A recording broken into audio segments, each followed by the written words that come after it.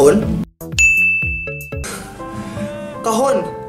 Buti pa! Buti pa! Buti pa! Hinahandle with care. Eh, yung feelings ko kaya.